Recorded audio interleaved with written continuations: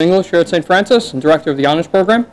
And uh, today is with great pleasure that uh, we welcome uh, Paul Elie, author of The Life You Saved May Be Your Own, An American Pilgrimage. Uh, as many of you know, in my classes here, the English 4005 seminar, uh, this book um, really inspired this seminar. Uh, four years ago was the first offering, and it's the second time that it's been offered. But Paul's book explores the intersecting lives of Dorothy Day, Thomas Merton, Walker Percy, and Flannery O'Connor. Um, and as, as many of you have read the biography, as my students have, um, all of us, in a sense, were really impressed with the way Paul was able to weave these narratives together effortlessly and to kind of create a real uh, dramatic uh, story in the internet connecting lives of these four writers, 20th century Catholics, who, in a sense, really kind of uh, revitalized uh, an American Catholic tradition. Um, so we're really eager to, to hear Paul's thoughts about the subject. He's going to give a, a short lecture and then open the floor up for questions. So without further ado, Paul Elie.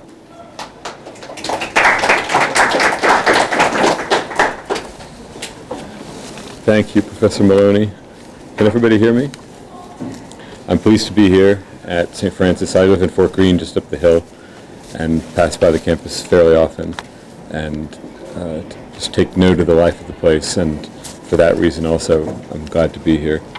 I'm here because of this book, which, as Ian made clear, is a book about four great American writers, four American Catholic writers. It's a book about reading and writing, and it's a book about pilgrimage, what a pilgrimage is, about their pilgrimage, and the broader pilgrimage of American Catholics, and how that comes to bear on our own pilgrimage as readers and writers. The four writers, Dorothy Day, Thomas Merton, Walker Percy, and Flannery O'Connor, a friend came up with a moniker for them, the School of the Holy Ghost. And this had to do with the fact that they were Catholic writers, writers who, as one of them put it, Walker Percy, had a predicament shared in common. And what was that predicament? It was the predicament of uh, trying to make the American Catholic outlook uh, credible, sensible, uh, authentically literary in a society that uh, wasn't necessarily uh, congenial to their doing so. They did so in distinctly, some would say radically different ways. Dorothy Day, the founders of the Catholic Worker, was a journalist. She was born not far from here on Pineapple Street in Brooklyn Heights. I lived in San Francisco, in Chicago, in New York. Uh, moved in circles of radical politics uh, for complicated reasons. Uh, had a child baptized, became a Catholic, sought to do something with that, and founded the Catholic Worker. First of all, as a newspaper, and only later as a movement that uh, sheltered the homeless, uh, fed the hungry, and undertook direct action for peace and against war in this country. But as I say, she was a journalist. She wrote uh, thousands of newspaper columns for the Catholic Worker, published many thousands more. Her journals and letters have come out just in the time since my book was published, and they make all the more clear what a writer and a writer in the American grain she was. Thomas Merton, best known as the author of the autobiography The Seven Storey Mountain, one of the most notable American Catholic autobiographies. It tells the story of how he, also living in New York, uh, came to recognize a calling to be a monk, a Trappist monk in Kentucky, and right on the eve of World War II, uh, followed that call from New York on various uh, train lines down to Kentucky and stayed at that monastery more or less for the rest of his life. A couple of trips out of the monastery and then a unprecedented trip to the Far East in 1968, where he wound up being electrocuted and dying in 1968. The Seven Storey Mountain made him famous, but after that, he thought when he was going into the monastery he was going to stop writing. Uh, it turns out that he wrote, by some estimates, about 60 books while he was in the monastery, of varying quality. He drew a chart of his work, and it looked like a, an electrocardiogram. You know, some, some high points and some low points, and a lot of books in the middle. Seven Storey Mountain, I think, was in the middle for him. But there were other books that he thought he'd really found his voice in. So intending to go silent as a Trappist monk, Trappists don't um, speak except out of necessity, he wound up writing 60 books and going through many changes as a writer. Walker Percy was the son of a distinguished Southern family. Distinguished means they had a lot of money and land and uh, political positions in Mississippi. He was an orphan at a relatively young age. His father committed suicide. His mother drove a car off a bridge in a mysterious accident that others, some people think may have um, had a suicidal aspect to it also. So Percy and uh, brothers were raised by a man they called Uncle Will. He was a cousin of theirs who ran the plantation the Percy family in Greenville, Mississippi. Now Percy noted that his uh, uncle was cultivated, distinguished, knew about music, knew about uh, literature, knew about politics, and also he noted that his uncle was very unhappy. Uh, the only time he saw his uncle happy was uh, when World War II broke out. Suddenly in this most awful of times, this old fellow was animated and uh, saw a purpose to life that he hadn't seen before. So Percy, in a way, felt the necessity of uh, distinguishing himself from his forebears because among his forebears he had people who had killed themselves and a man in whom home, home he was living who was pretty miserable. And so he sought in different ways to, uh, to effect an escape from the, the press of Southern gentility. First of all, by becoming a, med medical doctor, a scientific person. Did that. He wound up working at uh, Bellevue Hospital on the east side of Manhattan in the tuberculosis ward, and he himself contracted tuberculosis. He went upstate, up near Saranac Lake in New York, and at that time, still the case, but especially then, the fresh air cure was considered to be the best treatment for tuberculosis. You uh, didn't uh, have much activity, you spent a lot of time out in fresh cold air, and you did a lot of reading and spent a lot of time on your back lying about and thinking. Well, he did that and read a lot of philosophical novels and works of philosophy. In effect, he lay down a um, medical doctor and got up a novelist. And another 10 years followed in which he tried to figure out what kind of novelist he was going to be. And the idea he got was that he would be a diagnostic novelist, that he would try to figure out what ailed society through literature. Instead of being uh, the kind of, instead of figuring out what ailed individual people, he would try to figure out what ailed the human person in our time. But he realized he didn't really have a sense of what civilization's conception of a person who was well was like. And it's a long story, but he found that conception very distinctly expressed in uh, the Catholic religion. And that was, was for him a kind of standard and a vision of the human person uh, broken but fixed. Broken by sin, fixed by uh, faith in the sacraments, etc., and by redemption. Uh, and with that in mind, he then stopped writing philosophy and started writing novels, best known of which is his first, The Moviegoer, published in 1961. Flannery O'Connor, the youngest of the four, born in 1925, uh, you know, there are people, there are working writers who were more or less her contemporaries, who are still, still at it today. Uh, she died in 1964 of lupus. In 39 years, she wrote one of the most significant bodies of work of any modern American writer two books of short stories, uh, two novels, a book of essays that, in my mind, is the best uh, book about fiction that I've ever read, uh, and a, a, substantial volume of letters, The Habit of Being. And O'Connor, she was a, uh, raised as a Catholic in the South where there were very few Catholics. And so her, her wish as a writer was to uh, write about a world that was not like the world she lived in mentally uh, in such a way as, so that they might meet. And a novel like Wise Blood, it's very much a Southern novel and it's very much a European existential novel or a Northern philosophical novel or a Catholic novel as much as it is about the South. So these four writers, working in their different ways to make uh, credible, distinctly American Catholic literature in the middle of the century, their stories converged. They met, they wrote letters, they read one another's books, uh, they heard about each other's doings second and third hand, and they were they took a, a kind of consolation and satisfaction in the knowledge that they were not working alone, that the others were out there. These four great writers were also great readers, and that's, for me, where I enter the story, and also where the notion of pilgrimage uh, is deepened or amplified. What does it mean to be a great reader? Well, these four writers read their way into the callings of the literary careers that were theirs and read their way into a conception of the Catholic faith that made sense to them. Dorothy Day was a radical. Uh, she was accused by other radicals of being too religious. Uh, she wound up moving away from the community of Lower East Side radicals and into the community of uh, working class Catholics in Lower Manhattan. Her feeling was, well, radicals want to help uh, the poor and the working class, but the working class is actually more drawn to the church than to uh, the radical parties. Uh, why is that? It's complicated how she worked that out, but she wound up uh, reading her way through anarchist and radical literature toward the Gospels. And the Gospels for her said, uh, well, look, Christ was poor, and you're enjoined to treat the poor person as Christ. Uh, what's more radical than that?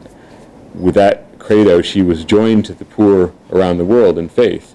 And so through that reading of the Gospel as a radical text, uh, she was emboldened to found the Catholic Worker and to, to do the things that she did for the next uh, 45 years.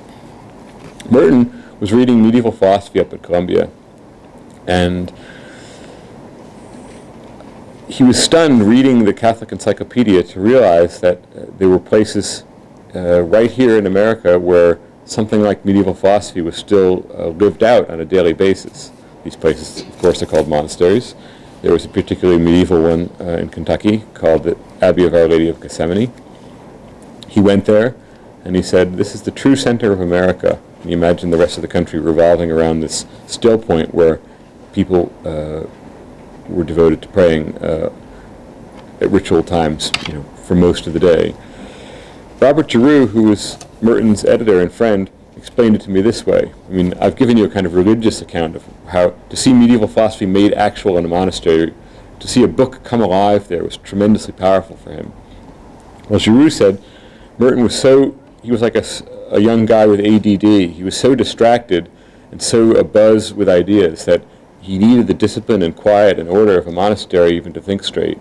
And that's what explains why once he was enveloped by the ritual silence of the monastery, his literary works started to come forth.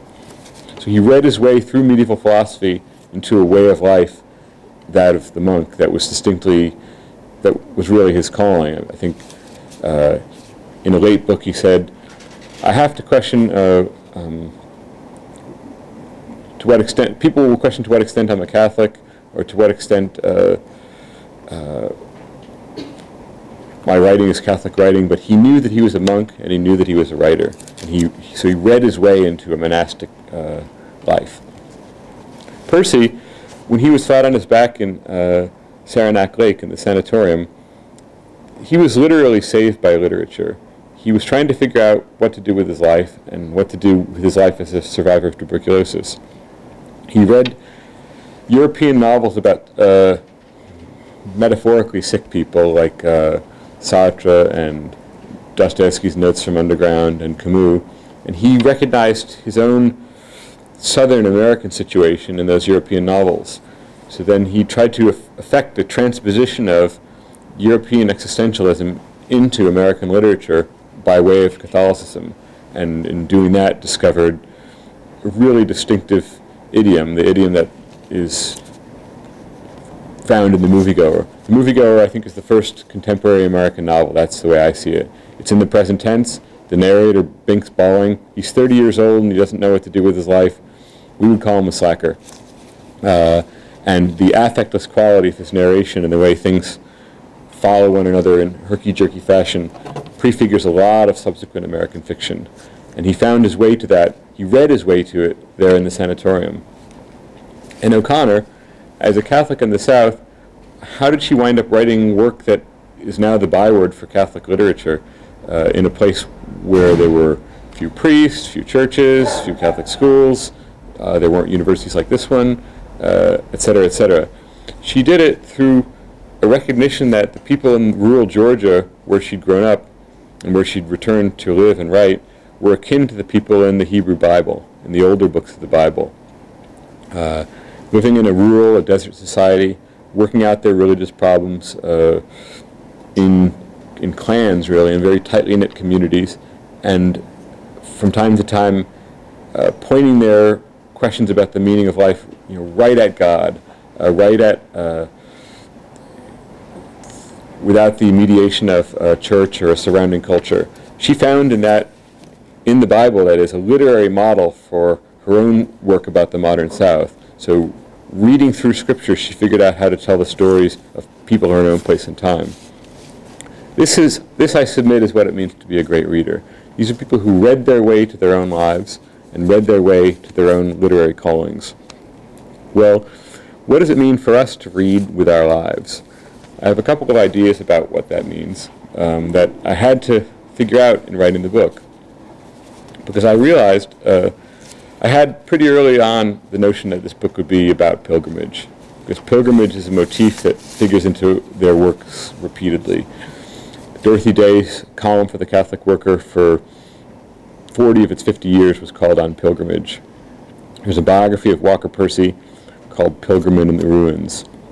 Thomas Merton wrote an important essay called From Pilgrimage to Crusade, which really diagnoses how uh, a sensible religion that's ambitious for good social change uh, turns into something else, a religion that's uh, forcibly imposing its views on others without um, a sense of their freedom.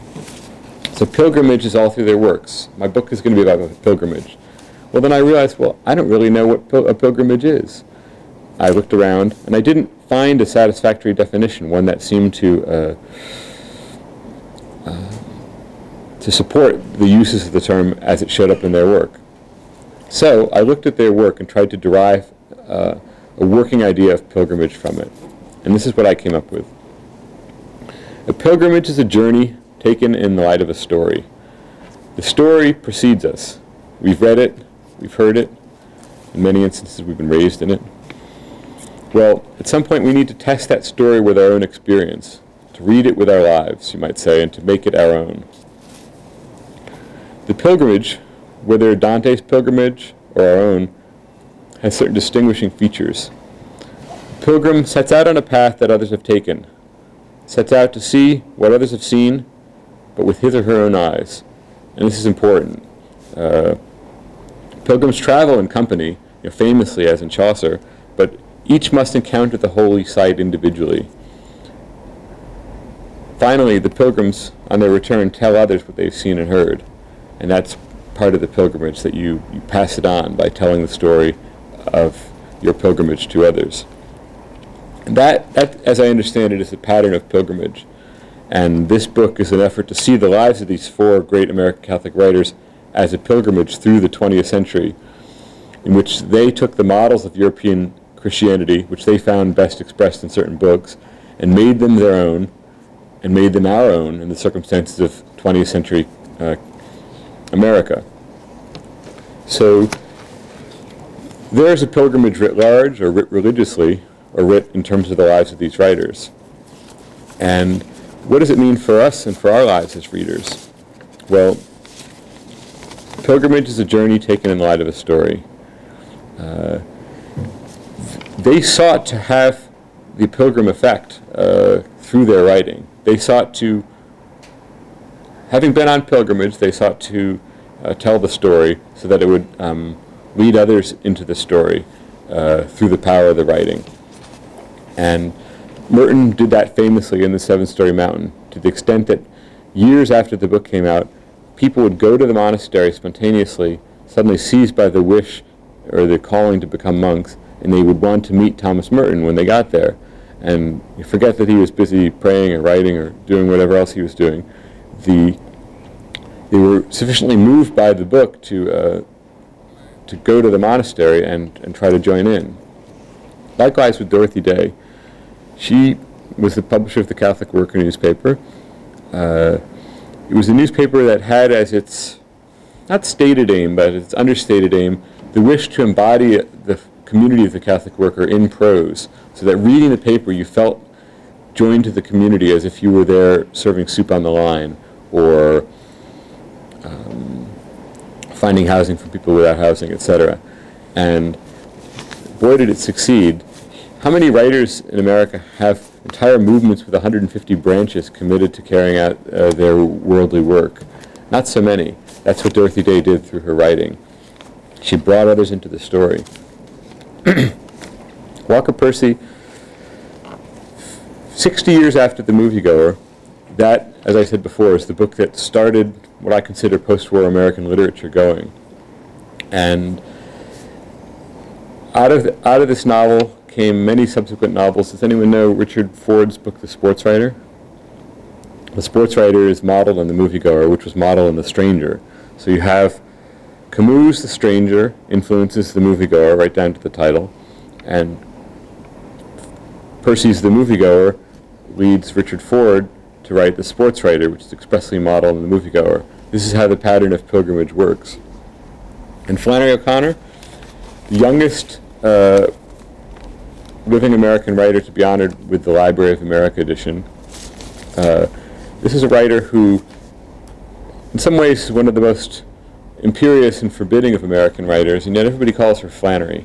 Uh, she's managed to establish a dialogue between readers and writers of an intimacy that I don't uh, know exists with many other writers.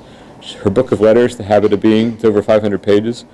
The letters are addressed to various people, but my suggestion in the book is that they're addressed to us. She knew she wasn't going to live uh, in some respects. She needed to explain herself, so she did it in the form of letters which were addressed to her future readers, that is, to us. That's how the pattern of pilgrimage works in literature, uh, how writers pass on their stories. You know, I speak from experience here in the sense that I was compelled to tell the story, to move the story forward by writing this book. But I think that that's the effect that literature in general uh, has on us. There are certain books that we read with our lives. We're reading them for a class, we're reading them to be entertained, we're reading them to learn something about the world we live in, but we're really reading them to, uh, we're looking for a clue as to how to live our lives and what our lives are about.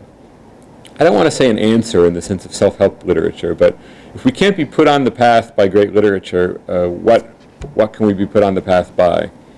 So I would suggest that uh, there's certain kinds of great works, some fiction, nonfiction, some poetry, some cultural biography, some uh, poli political, that you would understand as wisdom literature. And these are books that we read with our lives. Walker Percy characterized uh, the effect of literature that he wanted to have as the effect of a message in a bottle. And what does that mean? The message in the bottle, I think, is from Robinson Crusoe the uh, castaway puts a message in a bottle and puts the cork in it, tosses it into the ocean, hoping that it will wash up on some far shore and the person will take the cork out, take the message out, and uh, get the communication from this from this castaway. Well, that's in some ways how uh, books work. A book is generally written by a person alone in a room, and generally read by a person alone in a room. Uh, this is really distinct from the other arts. Theater is communal, music takes certain uh, musicians to make the work and uh, it's often played in front of an audience, uh, etc. A book typically is written by a person alone in a room and read by a person alone in a room. And this, I mean, to be the author of a book talking about it with people who've read it alone in their rooms, you, you feel the uh, profundity of this experience, that this thing you made in your apartment is suddenly out there and people are are having it on their desks or reading it. Uh, and it also, I think, explains the power that certain books have over us. There's a directness to the communication because it's written by one person, in effect, for one person. Books aren't experienced in groups the way plays are. You, you know, those of you who are Professor Maloney's students uh, discuss the book in class, but I'm willing to bet you read it individually on your own. So there's a great power to that uh, kind of communication. A writer alone in a room writing to a reader alone in a room, and together they uh, uh, come to some sort of um, encounter over the common story. That's how the pattern of pilgrimage works in published literature, and that I hope is an effect that you've either had with one of these four writers or can recognize in your own writing. I guess with that in mind, that's where it seems a good point to open to questions.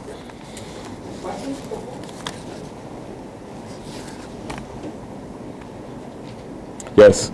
Yeah, Something you said at the beginning, um, I'm not sure I got it straight, but you said they, they all had a- something in common, is that they were trying to make the American Catholic experience credible. And Did I hear you correctly? Yes.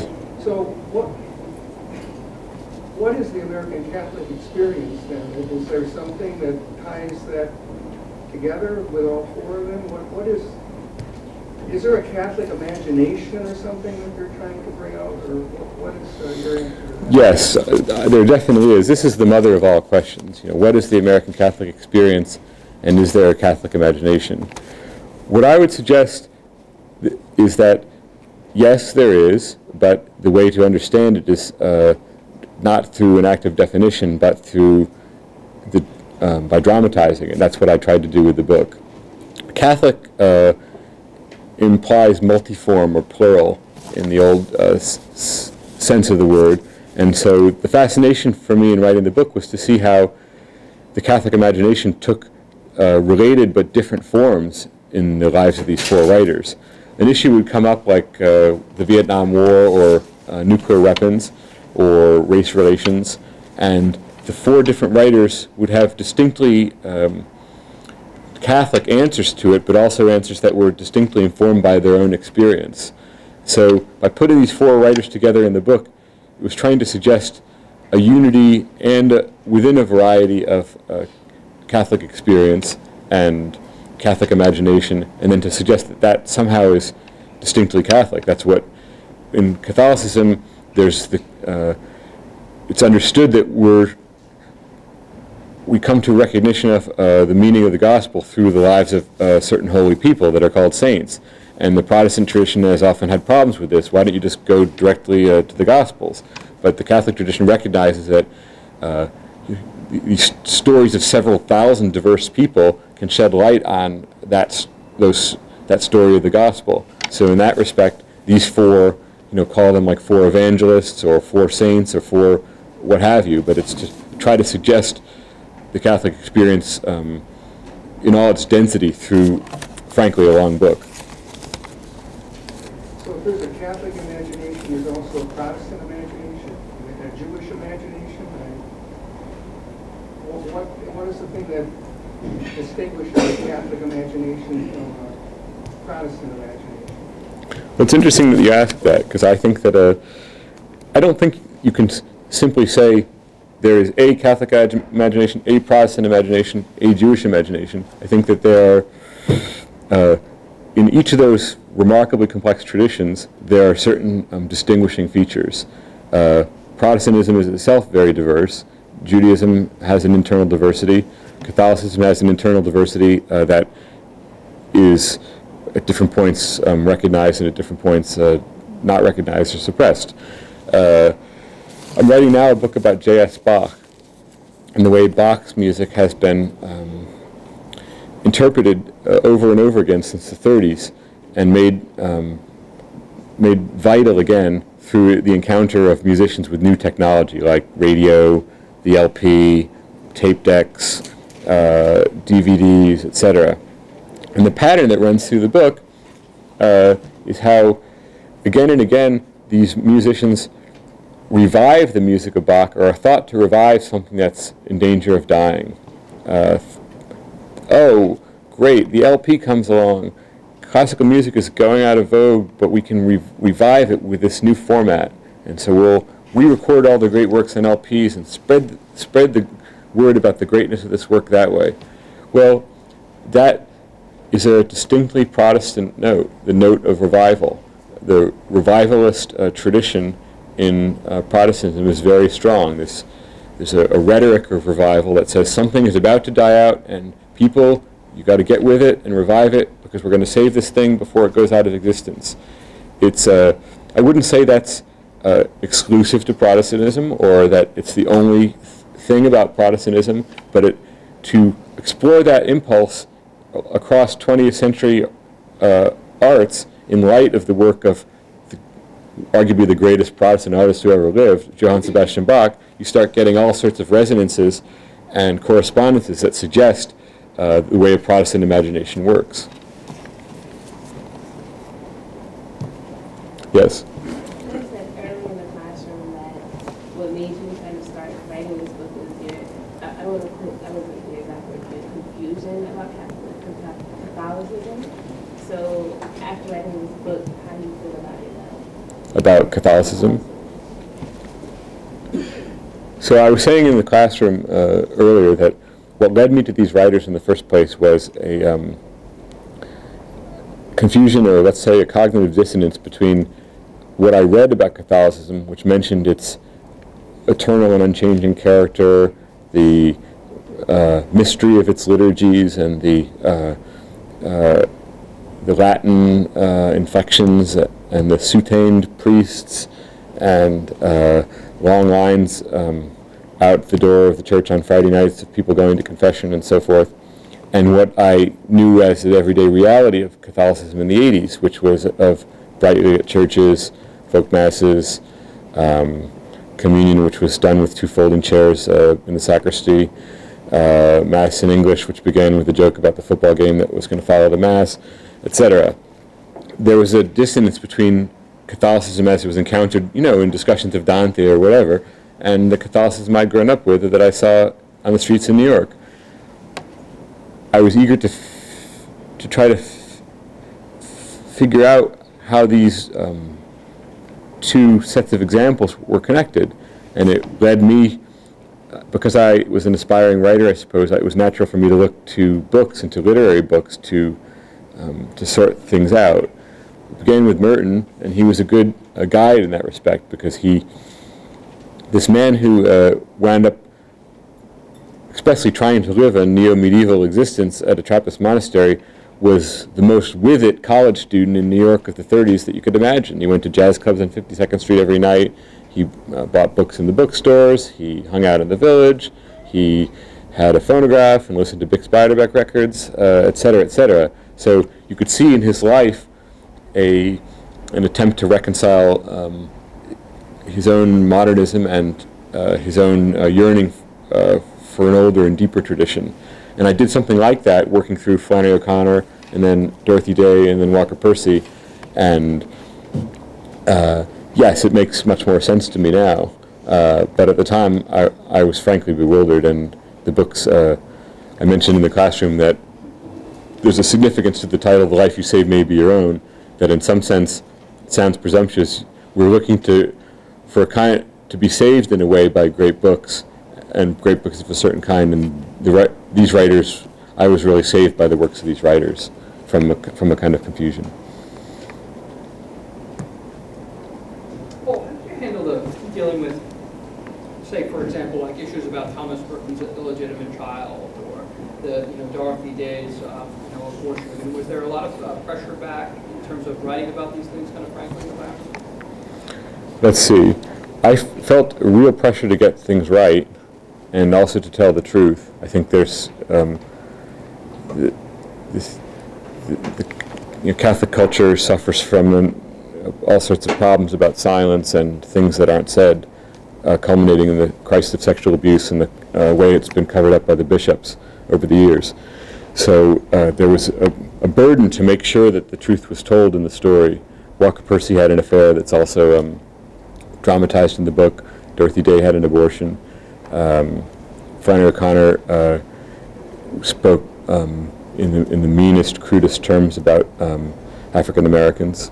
Uh, Thomas Merton fathered an illegitimate child, as they were called, which was killed in the Blitz, and then had an affair with a nurse uh, while he was a Trappist monk in the 60s. There, those things are left out of many stories. Dorothy Day in The Long Loneliness says, in one of the great uh, acts of reticence of modern memoir, about the next few years, there's little to say. And she was uh, married, traveling in Europe, um, involved in a uh, kind of awful love affair that led to the um, unborn child, uh, etc. About the next few years, there's little to say. As a person telling their stories, I'm obligated to enter the truth into the record. That said, I think um, it's important not to just uh, um, stand up in the middle of the story and wag a finger. One of the most profound things about Dorothy Day, for example, is that uh, um, her experience of having an abortion uh, led her to, in part, to a life of hospitality, trying to um, welcome other people through the Catholic worker. But I searched her writings, and there's very uh, little or nothing to be said in um, judgment about other people and their abortions. And in a way, uh, it was very hard on this point because I don't want to um, uh, want to make sure to represent the story in its fullness. And it may be that the letters and uh, diaries that have since been published deepen her testimony. But she did not become an anti-abortion activist. Uh, she um, moved into the works of mercy in other areas, certainly with what she considered a, um, an evil act in mind, but uh, not. Uh, Dorothy Day, the anti-abortion activist, is not, not to be found in my experience. Yes. I wanted to piggyback on the uh, definition what a pilgrimage is. Uh, what's your path that you have taken on on Catholicism since you wrote Life You Saved Me? So how how is uh, my own um, uh, religious life followed on the book? Right. Well, let's see. Uh, I'm a parishioner at uh, St. Boniface, uh, around the other side of um, over on Willoughby and past J Street. The experience of writing a book and trying to uh, come to a reckoning with these four writers and also with the Catholic tradition strengthened my sense of uh, of myself as a Catholic, um, but also was a reminder of how um, difficult it has always been uh, to be a Catholic and how how much in everyday religious experience gives the lie to uh, to the truths of the gospel and the teachings of the church. That's true in all eras and in all places. Um, Cardinal Spellman, uh, at many points, um, opposed the Catholic worker uh, because he uh, was a staunch advocate of the war in Vietnam, because he, uh, although the Catholic Church had been strongly in support of the labor movement in this country, um, he uh, took a strong position against the uh, union organized group of uh, cemetery workers here in New York. Uh, Dorothy Day, um, when, it, when there was a threat that the Catholic worker would be closed by the Archdiocese, uh, she said, um, well, they can go ahead and close us, uh, but we will be en masse in St. Patrick's Cathedral first. Uh, Thomas Merton's stories of his struggles with various abbots over the freedom to say this or that thing um, totally take over some of the biographies of, of him. I tried to keep it to a minimum, but that's the main line of several 600-page books about him. Flannery O'Connor uh, was um, not um, recognized as a Catholic writer in her own time uh, for a bunch of reasons. Uh, one, um, even being a woman was a disadvantage for her. Uh, the fact that she didn't write about Catholic characters, and uh, the fact that there was so much violence in her work was considered insufficiently um, good-mannered. Uh, you know, why do you have uh, a an escaped convict shooting a grandmother by the side of the road? That's Catholic literature, and in her um, brilliantly bold fashion, she insisted that it was. Walker Percy uh, wound up on the Pontifical Council for Culture, visiting John Paul II in Rome, uh, but uh, his last um, book, which takes issues of abortion in the, into the story, does it in a very, very complicated way involving um, doctors, uh, I think chemical dumping and nuclear safeguards, and, and lots of other themes. I'm a bit away from the question at this point, which is about my own religious pilgrimage, but the point I was trying to make is that knowing the story and having to tell the story for myself certainly strengthened my sense of myself as a Catholic and my Catholic uh, belief, if you will. At the same time, it's been a reminder that um, it's too e- it's easy to say, well, these are horrible times to be a Catholic. There were difficulties in, in every time, and their stories are reminders of that. Yes. Were there, when you were doing the research for this book, were there any moments that surprised you about any of the four authors and the lives their stories, and if so, what were they? in it- writing a book like this, the, the, the experience of surprise is what, what carries you through the book. In some ways, it was a low-level surprise. I mentioned in the classroom how, for me, in writing this kind of book, it's very important to know when things happened. And once you know when things happened, all sorts of uh, parallels and correspondences among the author or among the protagonists emerge. So it would be really surprising, for example, to learn that. Um, Dorothy Day was preparing a piece of writing about Saint Therese of Lisieux in New York at the same time as Flannery O'Connor in Georgia was uh, preparing a piece of writing about Saint Therese of Lisieux. Or that Flannery O'Connor subscribed to the Catholic Worker and so got their annual Christmas card and um, in many ways denounced the Catholic worker, and especially Dorothy Day, she thought arrogant for coming to the South and presuming to speak about uh, race relations as a Northerner. But she took over a beautiful uh, prayer from one of the church fathers that was printed on the Catholic worker's Christmas card and put it into um,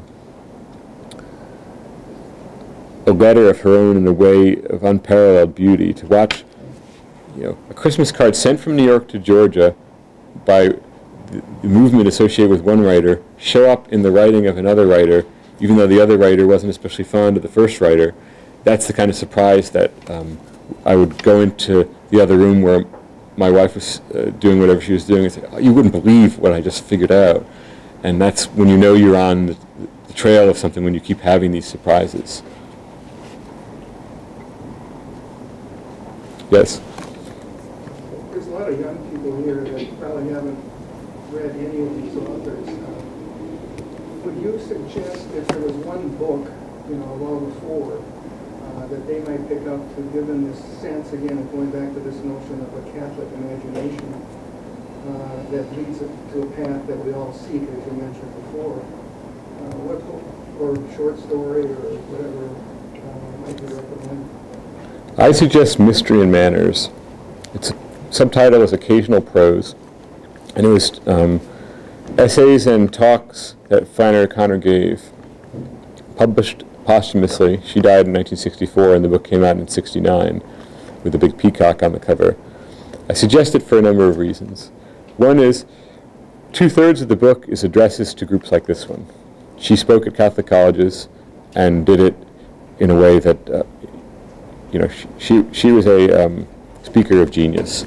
And what she did with an hour like this one is evident in that book.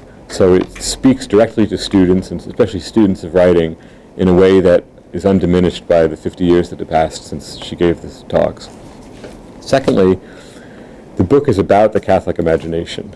It's about the imagination of, the, of, a, of a Catholic who is an artist. So in that respect, it engages your question really uh, head on. Uh, number three, and three, 3A and 3B, it's pretty short and it's very funny. And you could just, you, you, come away from this book not believing that these personal qualities and intellectual qualities can fit together in the way that they do. She's young and yet she seems wiser than the oldest person. She's uh, from the South and yet she feels more uh, Catholic and almost medieval than someone from, you know, Aquinas's Paris. Uh, she's um, sassy and yet uh, she's full of reverence for people like Augustine and Flaubert. Uh, and sh- sh- just for example, she said um, uh, how, how curious she thought it was that um, to, to be a student and have writers come to address you. Because, of course, they would contradict each other, and what you heard one week from the elephant, uh, they were like animals coming to visit from the zoo, and what you heard one week from the elephant was bound to be uh, contradicted the next week by the baboon. And there's just quips like that all through the book. It's an extraordinary book, and it's the one that um, set me on this path more than any other. Yes? In your book, which I enjoyed very much, and makes me feel very humble the scholarship in that book, but you mentioned the, uh, at one point, the spirit of uh, medieval philosophy. By Etienne Gilson. Yeah, influenced Merton. And I had, just wrote down a quote from, you had in your book, "The goal of life on earth is the contemplation of the divine essence." I'm just wondering now, you talk about the unifying idea of the Catholic imagination among these uh, four. Um, The stance of the church in the 20th century, especially the Spanish Civil War, you know, where they were on the side of Franco, uh, the toleration of uh, Hitler's Nazi Germany, the refusal to uh, really speak to the plight of the Jews, uh, whether that, that uh, disturbed these writers in any way. I didn't see any evidence of that. I hope that they reacted to that in a particular way. Well, let's see. So th- the, the Catholic Church, let's put it plainly, was on the wrong side of some of the main uh, um, social movements of the century. It got the Second World War wrong in many respects. It got the Spanish Civil War wrong. And what was the third one you mentioned? Uh, The toleration of Hitler's Nazi Germany. Right. Uh, the, these writers, um, a couple of them, Merton and Day, were really singular in their uh, departure from the the behavior of the church as a whole. Thomas Merton was one of the few Catholic pacifists in this country at that time, and the drama of the Seven Storey Mountain culminates in. Uh, his request for conscientious objection on the grounds that he's a pacifist, or that he, he's non-violent. I think that's a distinction that comes up much later in the book. Uh, and if he can um, be classified as a conscientious objector because his Catholic Catholic faith uh, forbids him uh, to support war in the way that the country was mobilizing for, how would he uh, serve instead? And so there were two ways he could do it. One was by working at Friendship House, which was a house um, that meant to ameliorate the ills of poverty in Harlem.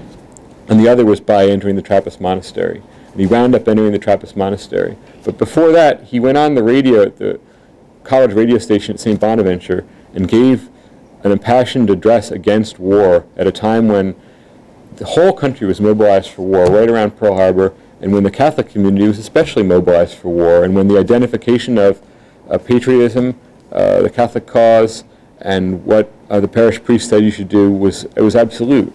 Dorothy Day, uh, the uh, literature of the Catholic worker was so staunchly opposed uh, to the atomic bomb, to I mean. They were conscience objectors throughout World War II, and the story is told across about 50 pages in my book of how strongly they resisted it. Uh, I'm a little less um, well informed at eight years removed on her position in the Spanish Civil War, but I'm pretty sure she was against. Uh, Percy and O'Connor. Um, per- Percy was, had tuberculosis during the war. Uh, but I think you want me to speak to a general point was how, if the Catholic imagination has any value, how could the, wasn't it pretty unimaginative to support Hitler uh, and to support Franco? Uh, don't, don't these two things seem to contradict each other? I think they do. Uh, but I don't think that, I'm not willing to say that the whole tradition is invalidated by, um, uh, by the wrongful acts of the church's leaders. And the fact that they, um, fact that Pius XII got things wrong um, makes it all the more important for Catholics today to uh, get things right as far as Catholic-Jewish relations. I published a piece in the New York Times Magazine in 1998 in which this is all spelled out in, in, uh, in pretty great length.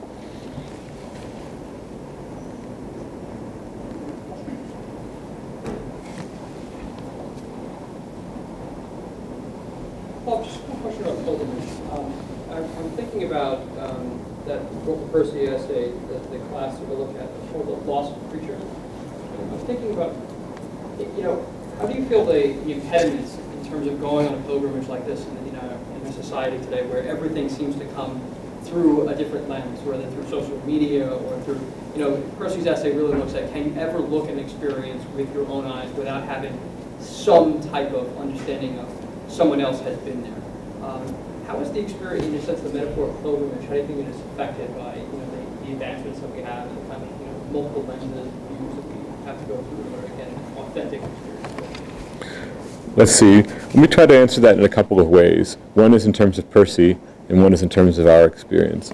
Percy, it's a brilliant essay, The Loss of the Creature, and he, he writes about the feeling of, um, that's familiar, often discussed today, about how much our experience is mediated by prior experiences. You, we go to see the Grand Canyon and someone's already uh, sent you a picture of it. You can't see it because you feel the need to see it, see the view, see the tourist view, and you can't really be there because your prior image of the thing um, interferes. So the first thing to say is that that essay, brilliant as it is, was an essay he was writing on his way to somewhere else. For him, the way out of that box of self-consciousness was to step out of himself altogether by writing a novel in which their protagonist was a character who was not himself. He switched from nonfiction to fiction, from writing about Walker Percy to writing about someone who was not himself, Binx Bolling, and that was his way out. Uh, but in a twist, at the end of his story, he became so well known that it was hard for him to step out of himself in fiction, and so that predicament um, chased him down at the end of his life. Now, in terms of our experience, you think about uh, how mediated things are um, all the time. Uh, before we go see the movie, we already know that it has 5,879 likes on Facebook. We've uh, 10 little reviews have come into our phones, etc. Uh, to me, the pattern of pilgrimage is a reminder that uh, of the other side of the coin, that the value uh, of of having a story that precedes us that we seek to make our own. So the fact that other people have walked, um, have been in uh, Canterbury Cathedral, uh, yes, on the face of it, could invalidate me having a religious experience there. But the knowledge through the pattern of pilgrimage that many people have trodden that path, and yet it's not enough to go on that path just because others have gone on it. I have to seek to see it for myself. That seek, that to me suggests a level of responsibility, which is the way out of um, of the trap of self-consciousness, if you will, that's created by uh, how much how mediated our experience is. In some ways, it says, look, experience has always been mediated, and it, the challenge of being alive is to uh, find the way to ourselves, uh, you know, over and through that mediation. And that was true in a certain respect in the Middle Ages, and it was true in the time of Ignatius Loyola, and true uh, in our own time. And that, and that's the discussion of the mediated character of our society often doesn't leave room for free will or personal responsibility. Uh, you know, my phone is in my pocket, but I turned the ringer off. I turned the ringer off. You're not going to hear it. If I don't want to uh, know what um, everybody on Facebook says about that movie, I don't have to look. Uh, and that's really the next turn that our discussions about social media need to take is what, what, what is our responsibility for the um, you know, maintenance of our free will in this environment, and I think we have to be able to do it.